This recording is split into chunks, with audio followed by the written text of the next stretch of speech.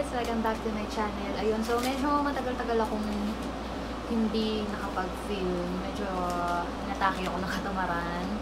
Pero, ayun, eto, welcome back to me. So, ayun na nga, kaya ako sinupag. Kasi wala akong trabaho ng Sunday dahil close kami. Tapos nakita ko may bazaar na dyan sa World Trade. Nakita ko yung Trendsetters Bazaar. So, yun, naisip ako pumunta. Tapos, check-check ng ano, kasi baka may mabili since wala naman ako magawa. Tapos, ayun nga ang bongga dito. Meron silang ano, parang tie-up yata, I don't know. Pero, hindi ako sure. Pero ano siya, luxury beauty sale. So, yung mga branded na perfumes, tapos yung mga cosmetics, meron din doon. Tapos, saka yung Trendsetters Bazaar. So, ayun. Papakita ko sa inyo kung ano yung mga pamili ko. Tapos, guys, sobrang nakakaloka yung presyo. Pero, worth it talaga. Yung pagpunta ko doon, grabe. Sige, ayun. Let's see. So, ito na, ito na, ito na, ito na, ang dumi. ito na nga, papakita ko na sa inyo yung mga nabili ko. Ayan. Ayan, puro makeup. Ayun yung mga nabili ko. Excited na ba kayo? Gusto niyo na bang malaman kung magkano ko, aray, may langgam. Gusto niyo na bang malaman kung magkano ko lang siya nabili? Sige, let's start. Pero bago yan, tunahin ko muna tong ano. Sa, sa bazaar muna, sa clothes muna. So, wala naman ako nabili. Dalawa lang nabili ko sa na damit. Ito, binili ko yung mama ko. Hindi ko alam kung pipintasan niya na naman. Pero, bahala na. Ito yung binili ko sa kanya. 3-4. Kasi, pang church niya. Ayan. So, yan. Nabili ko siya na 250. Ayan. Tapos, yung isa, ito. Ito, suot ko ngayon. Ala, yan. Ang ganda ng color niya. Actually, na-attract talaga ako sa color niya. Saka yung mukha siyang makapal, pero hindi. Hindi siya mainit sa katawan. Saka hindi, di ba may mga gantong tela na yung, yung sa loob na part, parang ang kati sa katawan, yung mga ngati ka. So, ito hindi. For rainy season, advance ako. Ayan. So, ito, nabili ko ng 350 lang. So, yun sa bazaar, ito lang naman yung nabili ko. Pero, punta na tayo dun sa makeup kasi yun talaga yung malaloka kayo sa price na magugulat kayo kung gaano ko na lang siya kamura na bili. So, ito. So, ayan. Start na tayo dito sa makeup. I'm sure excited na yung mga girls. May ingit kayo. so, ayun. Start tayo dito sa... Saan ba? Ah... start tayo sa Shiseido na lipstick. So, nakabili ako ng dalawang shade. Isang RS745, isang BR757. So, ito yung shade niya. Ito yung color niya. Ito yung packaging niya. Ayan. Tapos, papakita ko sa inyo yung shade. Ang ganda siya. Medyo, ano lang. Ewan ko, ito kasi ako eh. Ito talaga yung shade. Naman. Ayan, isang parang old rose, tapos isang nude na parang brown-brown tingnan nyo. Ito, switch natin. Ayan. Tapos, ito yung isa. Ayan siya, ano siya, yung glossy type. Perfect siya for me kasi dry lips ako. So, okay siya sa akin. So, ito na yung price ito na sasabihin ko na sa inyo kung magkano. Ito, sasabihin ko muna sa inyo kung magkano yung regular price niya sa mall. Yung regular price niya sa mall is... Ito, takpan ko. Ito siya. It's 1,250. Imagine, 1,250. Tapos, naka, nakikita nyo ba, may yellow tag siya. Yung yellow tag niya, nakalagay dito, 350 na lang. Ang bongga, di ba? Pero, alam nyo ba yung nangyari? Sakto punta ko kasi hapon yung punta ko. Tapos, habang nag-iikot-ikot ako, ganun. Biglang nag-announce. May nag-announce na for, starting from 5, 5 p.m., lahat ng naka-yellow tag, mag-50% off. Okay? Ayun na nga, imagine that. Ito ha, ang regular price niya is 1 to 50. Tapos, naging 350 siya sa yellow tag. Eh, nag 50% off pa nung nag 5 p.m. Kasi last day na nila nun. So, advice ko sa inyo pag mga ganitong event, pumunta. Feeling ko lang ah, hindi ko, hindi ko sure kung laging ganun. Pumunta kayo ng hapon. Tapos sa last day. So, yung 350, naging... Wait lang, ang hina ko sa mat eh. 350, naging 175 lang. Imagine that na from 1 to 15, So, imagine, from 1 to 50, naging 350, tapos, pagdating ng 5 p.m., naging 175 na lang siya. At take note ah, itong lipstick na to is very uh, branded siya. It's Japan, uh, Japan made siya. So, napakagandang brand for for me ah. So, sobrang worth it yung pagpunta ko doon. Nasa lipstick pa lang tayo guys. Ang dami pa. So, next ko naman is eto mag ano sayang nga eh kasi parang puro isa na lang yung nakuha ko nagmamadali na kasi ako nitong time na to eh. ito naman yung matte ni metallic ng uh, ng slick hindi ko pa siya na-open, hindi ko pa siya na-try pero yun, yun nga, mahilig ako sa gantong shade yung medyo uh, nude nude shade siya so ito, ang regular price niya is uh, nasa 450 so from 450 since naka-yellow tag siya ng 110, so nag 50% off din siya. Alam nyo, from 450, naging 55 pesos na lang siya. Imagine mo. Tapos ang ganda ng shade. Di ba nakakaloka? So, ayun. Hindi ko muna siya open kasi sayang naman, hindi ko pa naman siya gagamitin. Kasi, baka naman, hindi ko din siya magamit. Papumili ko na lang. Sino man. Pang gift, ganon. So, punta naman tayo sa sa, I don't know yung pronunciation nito. Basta nakita ko lang siya, Clio yata. Virgin Kiss. Tapos, uh, yun, lip, uh, lip tint ba siya? Oh no, hindi siya lip tint. Basta, ano rin siya, lippy din siya. So, ganito, pang, ito yung shade. Ah, ma, dito kasi parang pink eh, sa ano, pero sa personal, red siya. Parang bloody red siya sa personal. So, ang shade nito is Insane Red, number 6. So, ito na, sa price na tayo. Yung price niya is, regular price is 750. From 750, naging 250 sa yellow tag. So, yun nga, dahil naabutan ko yung ano, yung 5pm, naging 125 pesos na lang siya. Oh. So, ito yung next ko, bago tayo mag-garden. Ito yung next ko. Alam mo, ngayon ko lang siya na-discover, pero date na yata ako sa ano kung ano uso ngayon. Ink corrector siya. Ang bongga niya maka maka-cover na maka-cover ng blemishes yung redness ng mukha.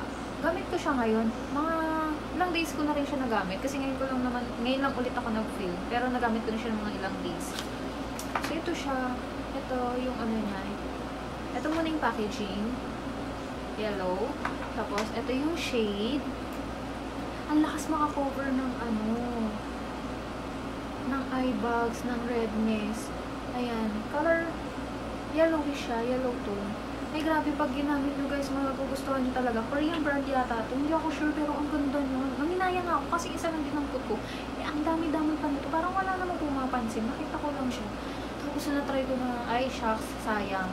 Dapat inagdagan ko na talaga. so, ito, yung price niya is, uh, 400, ah, tama, nasa 416 regular price niya. 460 sa yellow tag, 160.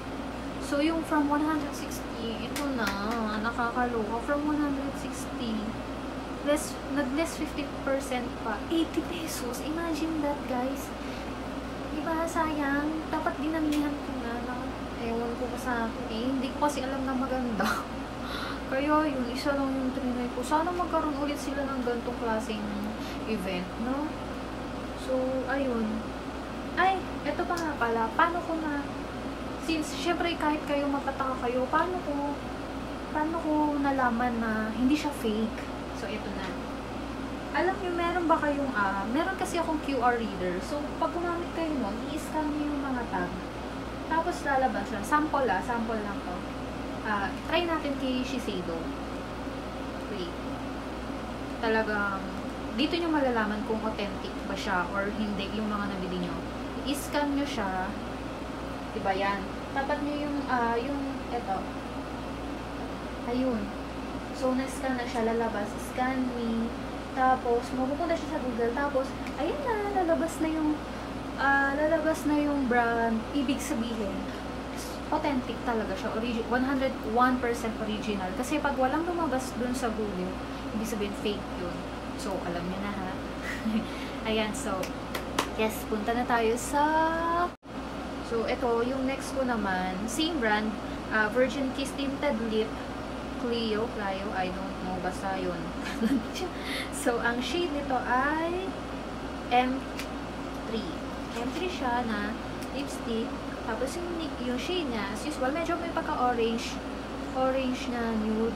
Hindi ko alam. Basta ganito yung color. Nagamit ko na to. Trinay ko na kasi bet ko yung color talaga. Tapos, yung, uh, eto na, yung price niya, regular price is 750. Then, naka-yellow tag siya ng, again, ng 250. 250 din siya ng yellow tag. Tapos, uh, nag-mark down pa siya ng 125 pesos. Diba? So, ayun. Tapos, eto. Yung next natin, ano po naman next? Siguro last ko na Elizabeth Arden kasi since yun yung parang pinakamaraming marami kong nabili. Kasi, ewan ko, ang dami, ang dami Arden doon na ano, na makeup. Niloka na nga ako, parang dampot na lang din ako nagdampot doon. Yung iba, hindi ko na tinigdan yung shade. so, eto na. Punta naman tayo sa sa eye palette ng Clio. Same brand. Uh, it's number 3, Nude Excellence. So, ito yung pala yung box na. Ganda. May pagka-social ang packaging. Ang ganda. Tapos, uh, ito na yung shade. Usual, nude pa din. Ang ganda. Ayan, oh. Yan, yun yung shade na. Ang ganda. Medyo may mga shimmer-shimmer siya. Yun nga, which is maganda pang eyeshadow. Maganda to pang ano eh, kung may event ka tapos or party na pupuntahan. Lalo na kung marunong ka mag-blend, blend, blend. Ayan, maganda. Hindi ko pa siya nagagamit. Pero soon gagamitin ko to. Tapos ito na, yung price niya, yung regular price niya is uh, nasa around 1.1, nasa ganun yata. Sinerch ko lang eh, nasa 1.1 yung ano niya, regular price. Tapos yung sale price niya is 365. 365. Imagine, from 1.1 naging 365. Tapos, yung nag-markdown pa siya, naging 182 pesos na lang. Imagine, sa gantong kaganda na shade and brand, sobrang swerte na. Swerte talaga yung pagpunta ko. Ayun. So, next na tayo. Punta na tayo sa... Ay, wait. Mamaya na yung Arden. May isa pa pala. Ito, bongga din to.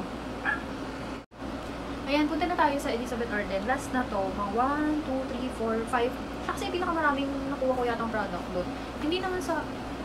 Uh, gusto ko yung Arden, pero hindi ko siya yung 100% na favorite. Pero kasi nagandahan lang ako. And sayang eh, ang mahal nito eh. Mahal din ito guys. Kaya, so yun naman, diba yung opportunity, minsan lang yung ganun price. So, punta muna tayo dito sa perfume. Bumili ako ng, speaking of perfume, nakakaloka. Bad trip talaga ako pag naalala ko. Kasi, ang haba guys, sobrang haba ng pila. Makikita niyo yun, may, may i-insert ako na short vid or picture photos ng pila. Grabe kasi yung pila. Tapos yung nangyari, di dumaan ako. Padaan ko dun sa mga perfumes. Shit, si Chloe. Chloe perfume, favorite, sobrang favorite. Tapos in patay na patay ako dun. Naamoy ko. So, pila ako, nakipila ko sa kanila. Ang haba. Tapos nung nandun na ako, ang nakakabad trip, ang nangyari, ay mabuli ka na last, ano, sayang, hindi mo naabutan. Dapat kanina ka, sabi ko bakit? Sabi na, kasi po yun si madam, ano, pinakyaw yung parang sampung box, parang sampung balikbayan box na Chloe. Kinuha niya.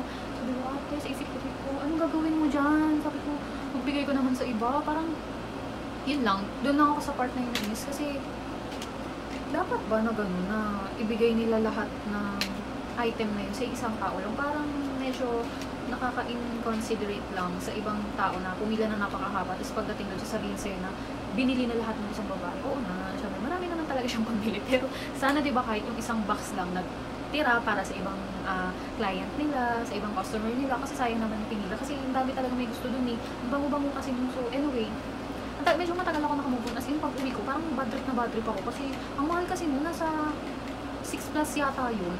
Nasa 6,000 plus yata yun sa mall. Tapos, doon, mabibili mo lang ng 2K. Tapos, imagine 2,000 lang.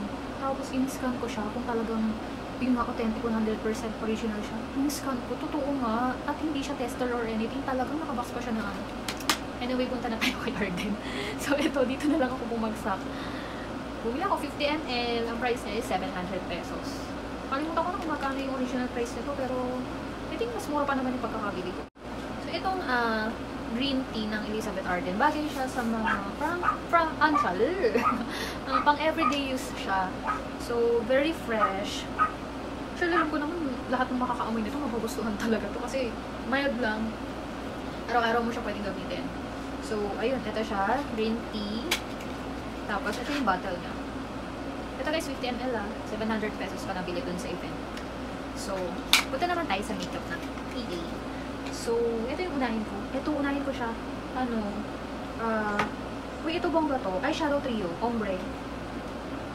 Ah, uh, kaya ako siya nagustuhan kasi, alam niyo yung, hindi ko sure kung anong tawag, kalimutan ko ito sa dulo ng dila ko. Yung, yung nilalagay dito, yung makinang-kinang.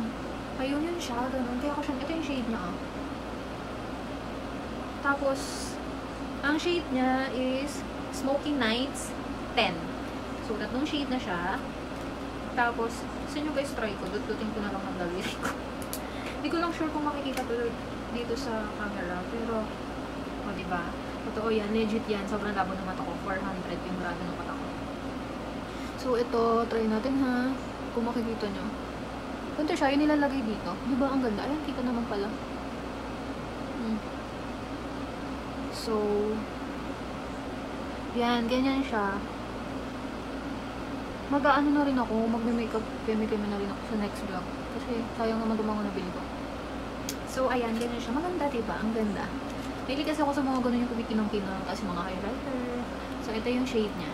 Ayan. Merong black, tapos parang nude pink, tapos yun na yung, yung silver na shade. So, ayun. Hindi ko kayo makita. Ayan, balik ko muna. Ayan. So, ang price niya, regular price is nasa 1.1. 1.1 or more than 1,100 pa siya. Tapos, yung yellow tag niya is 450. So, from 450, nag, uh, down pa siya na 50% off. Naging 450, naging 225 na lang siya. Imagine that, guys, from 1,000 plus, naging 200, 220. So, yun. Galing, no? Imagine, from 1.1, naging 450 naging 225. Ang galing. Nag-aabang na ako lagi ng, ng gantong event talaga. Mag-follow na talaga ako dun sa ano nila. So, next natin is, punta na tayo sa lips nila, sa mga lippy. So, ito. Next natin, EA pa rin. Uh, ito yung packaging, gold. Ang ganda, lakas makasosyal. It, uh, it's beautiful color, moisturizing lipstick. So, ang shade nito is Coral 12. Ay, isa pa pala guys since naka-bonggang sale na sila, huwag ka nang mag-expect na maganda yung, yung boxes. Kasi, syempre, ang daming, di, ang dami namin, isang line kami ganun. Tapos, para kami nanguhuli ng isda para kami nanguhuli ng isda.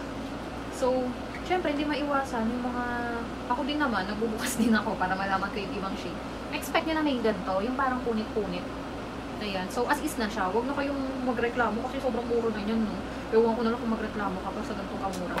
So, ito, ito yung shade niya, coral. Ay, ang ganda to. Pang, pang night event. O kaya, alam mo yung pagpunta ka ng beach, gusto mo yung sun-kissed na uh, lips. Yung picture. Ganito. Dito sa ano kasi, sa camera, parang, parang siyang pink eh, no? Pero sa personal, ano siya, very orange yung shade niya. Ayan, ganyan. O, di ba iba yung color na dito eh. Pero ang ganda nito. Soon tatry ko. Ano kaya ngayon? huwag na lang.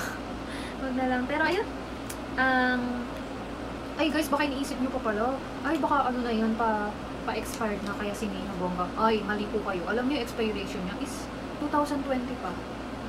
Ang tagal pa, ang tagal-tagal pa. Hindi ko alam bakit sila nag-sale ng ganito. Pero ayun, ang regular price niya is around 1 to ang ingay nung, nung baby ko doon. Tapos, ang uh, regular price niya, 1 to So, from 1 to naging, sa yellow tag, naging 450. So, from 450, na 50% off pa, naging 225. Alam nyo, sobrang mahal nito sa, lalo na sa, pag sa SM kayo pumunta sa department store, or basta sa MOA, ganyan, punta kayo doon. Ang mahal, grabe yung sa 1 plus talaga siya, tapos mabibili mo lang. So, ito ay made in Canada. Galing mo. Kaya yung secret nila, no? Ako kaya sila nakapag-sale ng ganito. Kasi original naman. Tapos, uh, hindi pa naman siya pa-expire, 2025 25 nakalagay dito. Pero, hindi ko na papakilaman yun. Basta sana mag-save ulit sila ng ganito. So, next, uh, ang kit na, kit ng box. So, next ko is, ah, itong isa, Bear Kiss. Ito sinadjust sa akin ni ate. Yung nandoon, yung BA nila doon na sabi niya, ay ma'am, ito, try mo. Ikaw na ikaw to. Ganun, ikaw na ikaw to. Ako na ako daw. Pero in fairness, ang galing na. Alam niya yung type ko. Talagang hinanap niya pa doon. Tinulungan niya ako. Naghalongkat din siya doon. Nangista din siya doon sa... Nangista din siya doon sa box. Tapos, hinan hinanapan niya talaga ako. Bakit niya ate? Sayang ko na ko yung name mo ate. Pero thank you. Thank you po sa pagtulong po sa akin na dun sa mga shade na magaganda. Kasi iba doon, hindi mo nung mapapansin. Parang, basta ayaw ng ibang shade. Pero ito talaga hinanap niya. Ito, gamit na gamit ko na. Mga ilang days ko na siya gamit. Ayun nga, bare kiss siya. Medyo glossy. Hmm, glossy type. Parang ano lang, wala lang. Nude. As usual, nude. So, ito na lang. Try ko na lang to. Try ko na lang for you guys. So, ito. Saka ang dali niya i-apply. Parang kakulay lang ng lips ko ganun. Ayan. Ayan. Oh, diba? Ang ganda. Finish na. Ang dali niya, ang dali niya i-apply. Di katulad yung pag iba na, di ko alam kasi hindi naman ako magaling mag-apply ng lipstick. Pero dito, parang ang bilis lang, ganun-ganun lang. Perfect na agad. So, ang price niya is, ang regular price niya is, nasa 1 to 1.3 din yata to. Tapos, yellow tag is uh, 450.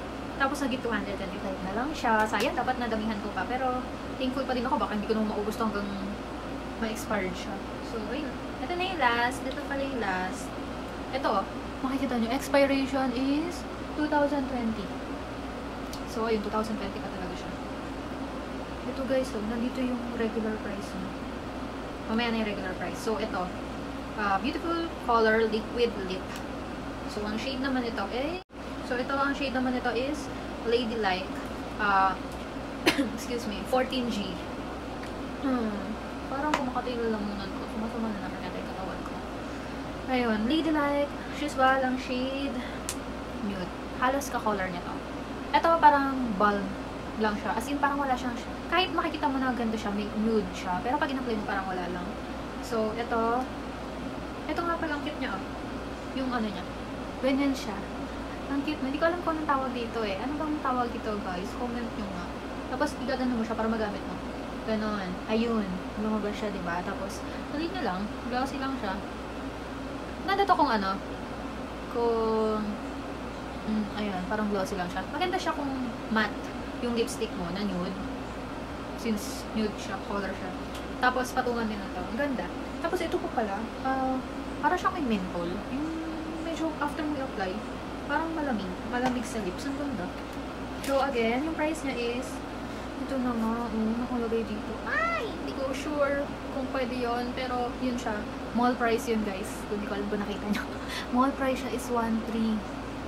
Tapos, from 1.3, from 1.3 naging, hindi ko alam kung nakita niya. From 1.3 naging 440.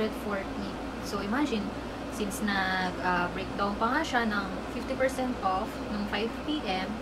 from 1,300, naging 440, then nakuha ko lang siya ng 220 pesos.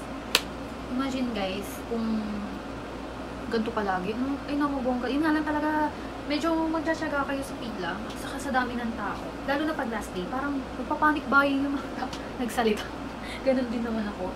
Tapos, ayun, sobrang na-enjoy ko yung pagpunta ko doon. Medyo st stress lang lately, pero ano naman, na-enjoy ko yung pagpunta ko doon. And sobrang worth it, no?